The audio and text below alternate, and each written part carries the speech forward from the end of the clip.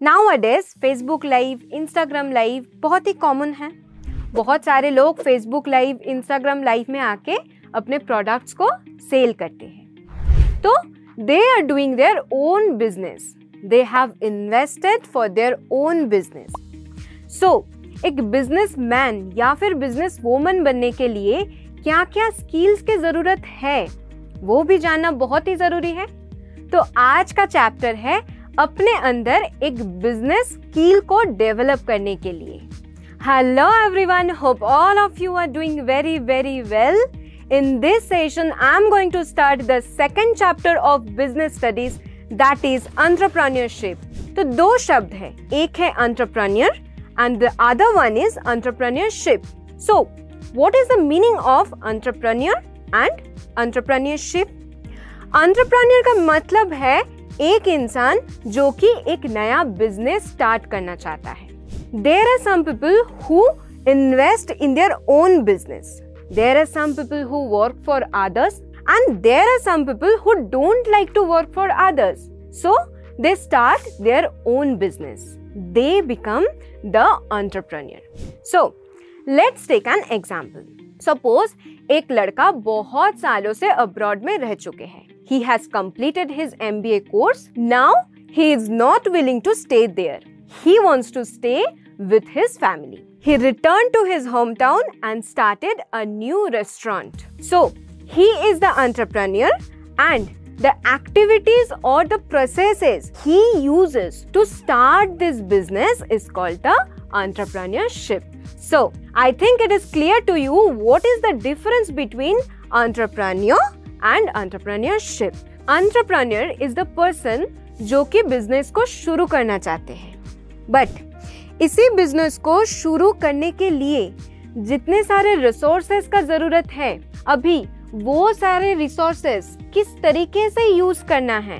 And और भी बाकी जो भी प्रोसेसेस है जो कि फॉलो करना है बिज़नेस को स्टार्ट करने के लिए all of those are called entrepreneurship अभी ये एंटरप्रेन्योर वर्ड आया कहाँ से? It is derive from the French word entreprendre the meaning of which is to undertake something now we have to know एक एंटरप्रेन्योर का मेन मोटिव क्या होता है। अगर तुम बिज़नेस स्टार्ट करना चाहते हो तो तुम किसी भी जगह पे जाके, किसी भी चीज़ के ऊपर तो बिज़नेस स्टार्ट नहीं कर सकते हो ना। सपोज़ तुम एक जगह पे ब्रांडेड क्लोथ्स की दुकान देना चाहते हो। बट उसी पर्टिकुलर जगह पे लोगों के जेब में पैसा ही नहीं है ब्रांडेड क्लोथ्स खरीदने के लिए। वो लोग ब्रांडेड क्लोथ्स यूज़ ही नहीं करता है। तो तुम्हारा कोई भी फ़ायदा होगा क्या? So first you have to find out what is needed by the people of that place and then you should start your business according to that and then only you can get profit so एक entrepreneur का main motive profit gain करना नहीं है। उनका main motive होना चाहिए दूसरों का प्रॉब्लम सॉल्व करना।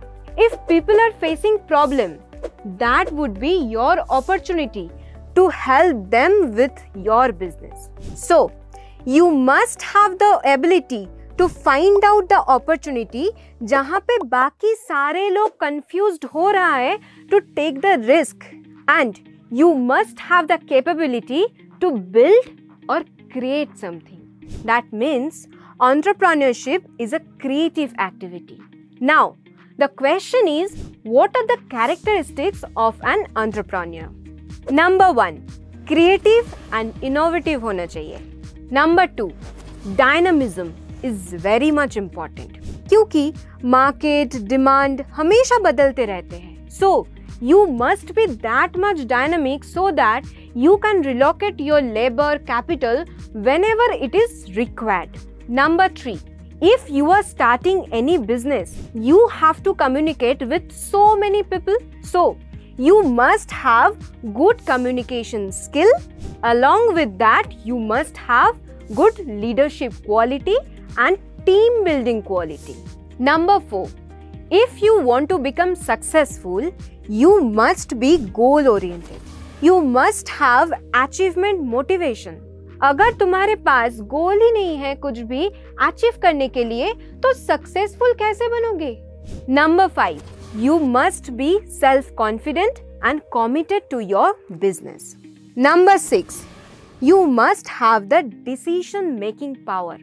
And lastly, you must have the problem solving behavior so that you can understand what are the problems faced by the people. So, that's it for today guys. Hope all of you have enjoyed the session. I think now you have an idea about the chapter. In the next session, I will discuss all the functions of an entrepreneur. Till then, enjoy Board Plus learning.